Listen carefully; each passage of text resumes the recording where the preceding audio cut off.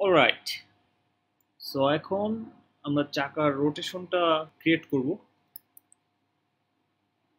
তো আমি ফার্স্টলি কার্ডটা সিলেক্ট করলাম এবং ডাবল ক্লিক যাতে আমি কার সিম্বলের ভিতরে ঢুকে সব পার্টগুলোকে অ্যানিমেট করতে পারি। ওকে এখান থেকে আমি অলমোস্ট তিন সেকেন্ডে একটা অ্যানিমেশন তৈরি করব। সো এখান থেকে ড্রাগ করে আমি আমি তিন সেকেন্ড ফ্রেম নিয়ে নিচ্ছি। তার মানে দেখা যাচ্ছে এটা হচ্ছে seventy two maybe okay right click insert key frame firstly আমি রিয়ার হুইলটা সিলেক্ট করলাম। একটু জুম করে নিচ্ছি। এবং এটা হচ্ছে রিয়ার হুইলের লেয়ার সেখানে right click create classic tween এখানে ক্লাসিক টুইন অ্যাড করা হলো। এখন প্রপার্টিস অ্যান্ড রোটেশন অপশন থেকে কাউন্টার ক্লকওয়াইজ কারণ এখানে চাকাটা উল্টো ঘুরবে, কারণ গাড়িটা উল্টো ডিরেকশনে যাচ্ছে। সো কাউন্টার ক্লকওয়াইজ সিলেক্ট করতে হবে। তো ফ্রন্ট হুইলের ক্ষেত্রেও একই জিনিস। Right click create classic tween এবং সিলেক্ট করলাম প্রপার্টিস কাউন্টার ক্লকওয়াইজ ওকে এখন আমরা অ্যানিমেশনটা দেখি। ওকে চাকাটা ঘুরছে বাট খুব স্লো তো স্পিড আপ করতে হলে ক্লিক করলাম, আবার প্রপার্টিসে এবং রোটেট অপশানে যে এখান থেকে আমি সিক্স দিতে পারি। ওকে এবং ফন্ট হুইলেও ঠিক একই জিনিস।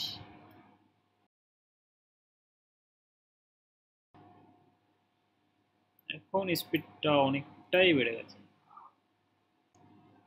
অলরাইট চাকাটা এখন কাজ করতে শুরু করেছি সো আমি আইসোলেশন মোড থেকে বাইরে বেরোচ্ছি। সো ক্যানভাসের বাইরে যে ডাবল ক্লিক করলে এটা বাইরে বেরিয়ে যাবে। বাট এখানে কোনো অ্যানিমেশন শো করছে না, কারণ এখানে টাইম লাইনে কোনো ফ্রেম নেওয়া নেই। তো আমরা ওটাতেও ঠিক তিন সেকেন্ডে নিয়েছিলাম, তো এখানেও তিন সেকেন্ড নিচ্ছি।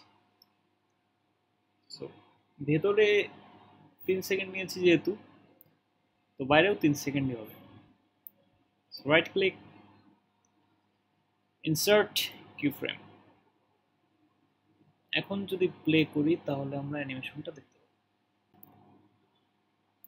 জুম আউট করে নিচ্ছি, এবং কার্ডটা সিলেক্ট করলাম।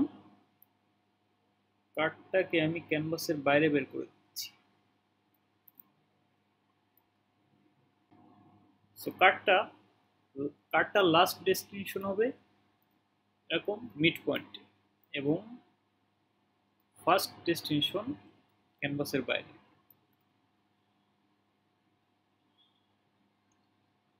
এখন কারে একটা টুইন অ্যাড করতে হবে। Right click create classic tween okay এখন গাড়িটা মাঝখানে এসে থেমে যাচ্ছে। সো এখন আমরা ব্যাকগ্রাউন্ডের অ্যানিমেশনটা ক্রিয়েট করব। ওকে এখন ব্যাকগ্রাউন্ডটা একটু বড় করতে হবে। সো আমি এখানে তিন চারটে কপি করে নিচ্ছি। কপি করার আগে আমি আরেকটা কাজ করি যে, এখানে আমার কি ফ্রেম নেওয়া আছে। তো কি ফ্রেমটা ক্লিয়ার করে দিচ্ছি। যাতে আমরা ফার্স্ট কি ফ্রেমে যে কাজটা করব, ঠিক একই কাজটা এখানেও যেন হয়। ওকে তো ফার্স্ট কি ফ্রেমে গেলাম সিলেক্ট করলাম ব্যাকগ্রাউন্ডটা এবং কন্ট্রোল সি কন্ট্রোল ভি থেকে আবার কপি করছি control C control V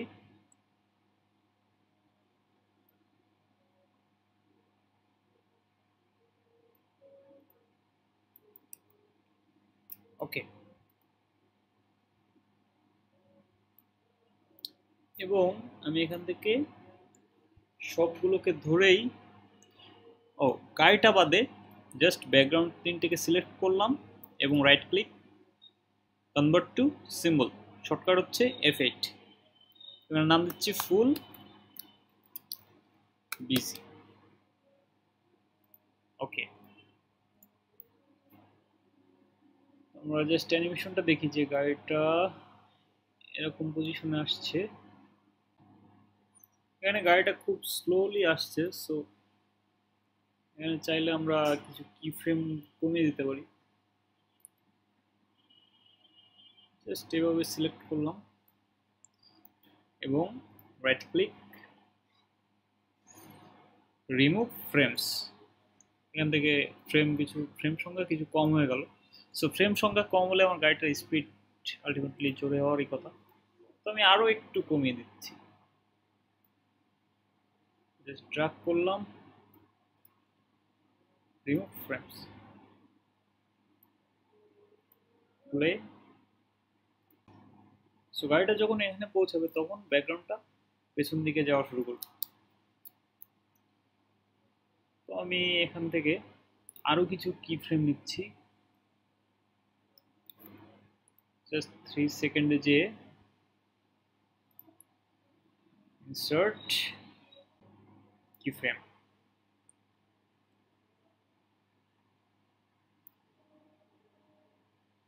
তো ব্যাকগ্রাউন্ডের পজিশন এই পর্যন্ত কোনো চেঞ্জ হবে না। সো এখানে আমি একটা কি ফ্রেম নিয়ে নিচ্ছি। তার মানে এখান থেকে এই পর্যন্ত কোনো চেঞ্জ আসবে না ওটা। এরপর থেকে ওটা চেঞ্জ হবে। সো এখানে এই পজিশনে থাকবে। অ্যান্ড লাস্ট পজিশন হচ্ছে এটা শিফট প্রেস করে আমি এদিকে ড্রাগ করে দিলাম।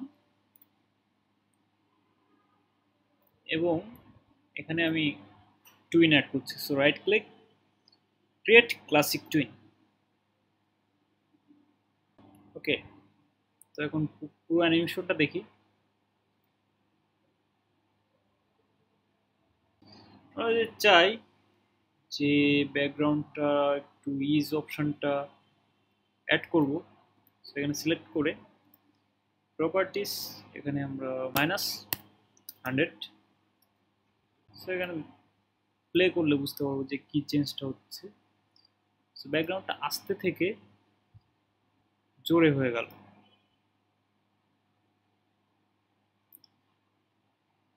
তো এই জন্য অ্যানিমেশনটা একটু স্মুথ অ্যানিমেশনটাতে একটু স্মুথ ভাব আসবে। তো আমরা এটার গ্রাফ এডিটর থেকে ইচ্ছা করলে আরও এটাকে চেঞ্জ করতে পারি। এখান থেকে আমি জাস্ট এটা আরও নিচের দিকে করে দিলাম।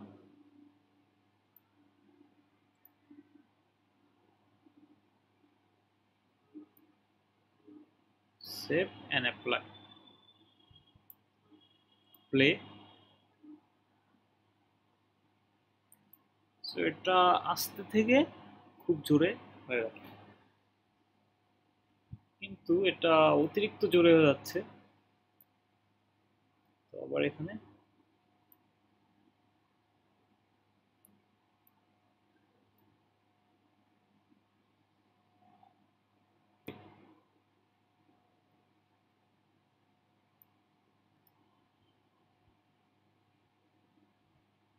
ওকে এখন এটা ঠিক আছে। সো এখন প্রিভিউ মোডে যাচ্ছি কন্ট্রোল ইন্টার